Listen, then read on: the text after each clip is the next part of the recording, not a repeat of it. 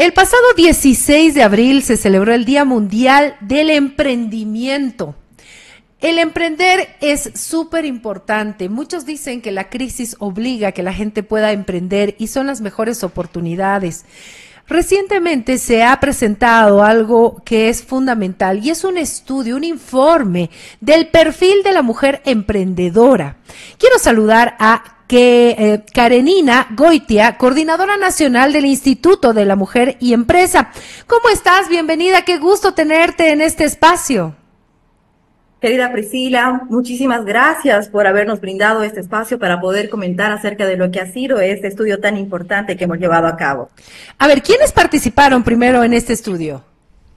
Bueno, yo quiero comentarte que la primera versión de este estudio se ha llevado a cabo como iniciativa del Instituto de la Mujer y Empresa para el cual eh, lo llevamos a cabo el año 2021 conjuntamente eh, con el PNUD. Nosotros los invitamos para que pudieran socializar el estudio. Sin embargo, ya en esta ocasión, para este 2023, el año pasado, nosotros decidimos trabajar y colaborar conjuntamente para poder hacer que un, el estudio sea muchísimo más sólido y para poder llegar a un número de emprendedoras eh, mucho más amplio que justamente trabajan en el sector informal. Es importante porque tiene datos fundamentales este perfil de la mujer emprendedora. ¿Cuál es el informe? A ver, ¿qué datos han encontrado?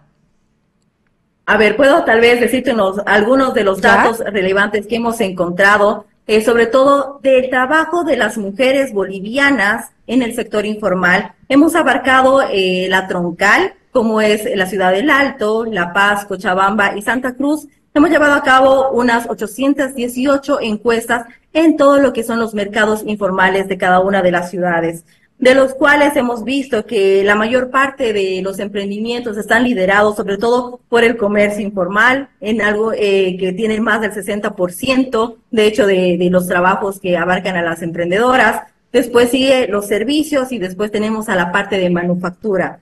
Entonces también hemos podido ver las horas de trabajo que le dedican las mujeres a cada uno de este tipo de emprendimientos. De hecho, el 73% de las mujeres trabajan alrededor de 72 horas por semana y 80 y 21% de ellas trabajan incluso más de 81 horas. Puedes imaginarte el, el trabajo y las horas de dedicación que cada una de estas emprendedoras puede eh, involucrar en su vida cotidiana directamente a su trabajo informal. Entonces, hemos visto también temas de capital de arranque, hemos visto cómo manejan ellas su economía, también hemos podido detectar lo que son los perfiles de cada uno de estas, eh, de, de cada uno de estas edades, a nivel de digitalización, a nivel de escolarización, de estudios.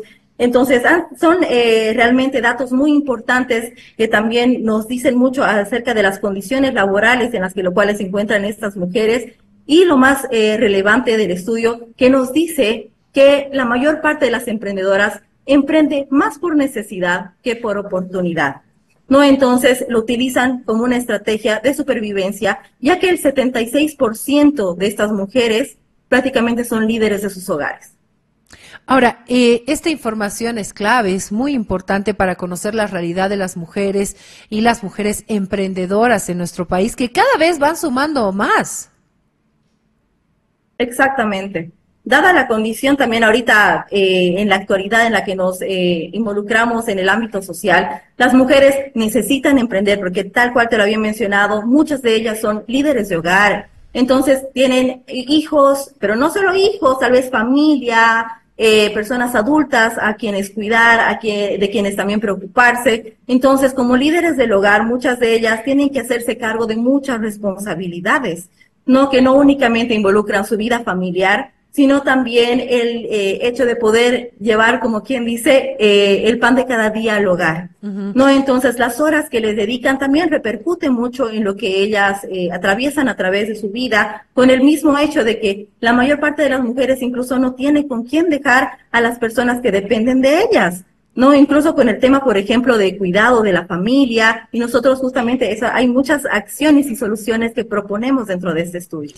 Ahora, no sé si está este dato dentro del estudio, pero estas mujeres emprendedoras hacen una doble jornada laboral. La jornada del emprendimiento, ¿no? De tu trabajo y la jornada laboral, porque es un trabajo, el cuidado del el hogar. Exactamente.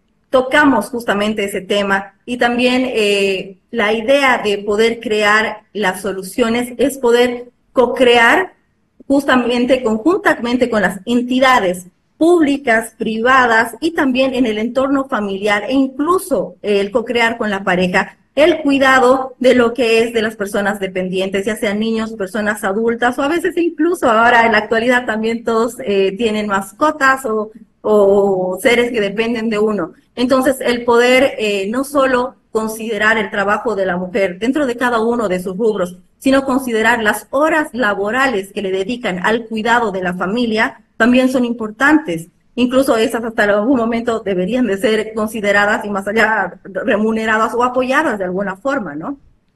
Ahora, ¿cuáles son los principales sectores en los que las mujeres bolivianas emprenden y cómo influyen las diferencias culturales y las tradiciones en sus decisiones empresariales?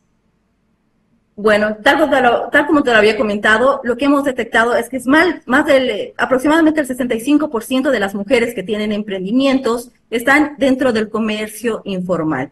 Como te lo había mencionado, eh, las mujeres eh, emprenden para poder supervivir o sobrevivir dentro de nuestro medio. El segundo eh, sector dentro del cual se encuentran es la parte de servicios, ¿no? Y, y el, finalmente tenemos la parte de manufactura. Ahora, ¿cuáles son, por ejemplo, los sectores en los, eh, en los cuales ellas eh, emprenden por el tema de manufactura, por ejemplo? Lo que pasa es que generacionalmente las habilidades o a veces el los temas laborales van pasando de generación a generación, de abuelas a madres, a hijas. Entonces muchos de los emprendimientos también suelen ser de manera generacional algunos más abocados al tema de comercio, de la informalidad, porque eso les permite poder conciliar un poco más el tiempo a veces entre el trabajo y la familia y también para poder eh, moverse en diferentes eh, asociaciones. Incluso hemos podido también detectar que ha habido mucho el tema de que hay una, uno de los perfiles que utiliza, por ejemplo, la gremias, los gremios para poder, como forma de formalización dentro del mercado. Entonces, la mayor parte de las mujeres eh, mayormente están involucradas en el comercio informal y qué es lo que realmente las motiva ya culturalmente a poder formalizar estos negocios. La idea es que ellas puedan acceder a capacitaciones, a formación y también a créditos bancarios para que eh, ellas puedan llevar a un siguiente nivel cada uno de sus negocios. Es muy importante poder realmente apoyar, no únicamente desde eh, las capacitaciones, desde la formación de habilidades, desde la digitalización, que es una de las características más relevantes en nuestro medio y en nuestra sociedad actual, el poder eh, entrar en contacto con el cliente, el poder saber vender mediante redes sociales, que es algo que destaca ahora eh, dentro de cualquier comercio, sino también el fortalecer habilidades financieras, que las mujeres sepan cómo manejarse económicamente y que también puedan acceder a créditos que las apoye, que tengan tal vez bajas, eh, tasas no tan altas, disculpa, tasas no tan altas para que puedan acceder a estos eh, créditos y puedan hacer crecer sus negocios y formalizarlos. Y esto me imagino que tiene que ver con la importancia de la incorporación de las mujeres en el mercado laboral, según lo expuesto en el estudio. Exactamente, tal cual te había mencionado, las mujeres de hecho son las que más trabajan, le dedican muchas más horas a incluso sus emprendimientos, por lo cual la inserción laboral de la mujer en cada una de, de cualquier institución que podríamos considerar es muy importante, no solo por las horas de trabajo que le puede dedicar, por la eficiencia del trabajo que puede realizar y también porque incluso dentro de lo que es el, el sistema de préstamos bancarios, son las mejores pagadoras dentro del mercado porque son las más responsables, las más, las más cumplidas y las que pueden acceder con más facilidad a poder tener eh, más créditos constantemente porque tienen un buen récord de pagos. Exactamente, son las más cumplidoras para pagar, lo han dicho todas las entidades financieras, dicen, las mujeres emprendedoras son las que más créditos sacan, pero que son las que más cumplen al pagar.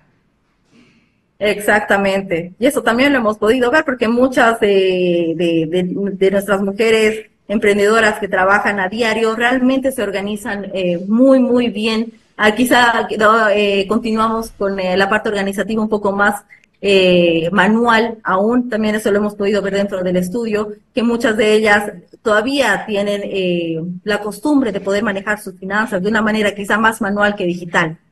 ¿No? Sin embargo, lo organizan tan bien que son muy buenas pagadoras dentro del mercado financiero. Bueno, ¿dónde podemos conseguir esta información y qué se va a hacer ahora con la misma? Justamente lo que nosotros eh, queremos proponer es que todas las entidades, todas las instituciones públicas, privadas, puedan acceder a este estudio y puedan conocer un poco más los datos y aplicar las soluciones que estamos proponiendo para co-crear un ambiente mucho más eh, factible para que todas las emprendedoras puedan hacer crecer sus negocios y también puedan eh, apoyarlas no únicamente desde la parte financiera, desde la parte académica, sino también desde la parte humana que se necesita mucho apoyar a las mujeres. Así que les invito a poder encontrar este estudio a través de nuestras redes sociales. Estamos como IME Bolivia en Facebook, en Instagram, estamos también en Twitter, estamos en eh, TikTok, estamos en todas nuestras redes sociales, pero también a través de nuestra página web. Ustedes van a poder tener acceso al estudio, pueden, eh, van a tener el acceso digital al estudio. Perfecto. Muchísimas gracias, Karenina, por haber estado con nosotros, por darnos estos adelantos. Y ahí está, la información ya está al público, a las empresas públicas, privadas, para que puedan utilizar estos datos importantísimos del estudio y generar mayores oportunidades para las mujeres y cómo se benefician las empresas cuando contratan más mujeres. Gracias por haber estado con nosotros. Muchas gracias a ti por el espacio. Que sea un buen día. Igualmente, el perfil de la mujer emprendedora, el programa de Naciones Unidas para el Desarrollo, PNUD, y el Instituto de la Mujer y Empresa, además de la Universidad Franz Tamayo, presentaron este perfil de la mujer emprendedora. Estas dinámicas de emprendimientos liderizados por mujeres en la economía informal, un trabajo que ahora está eh, con eh, los datos importantísimos de información clave para entender la realidad que enfrentan las bolivianas en nuestro país.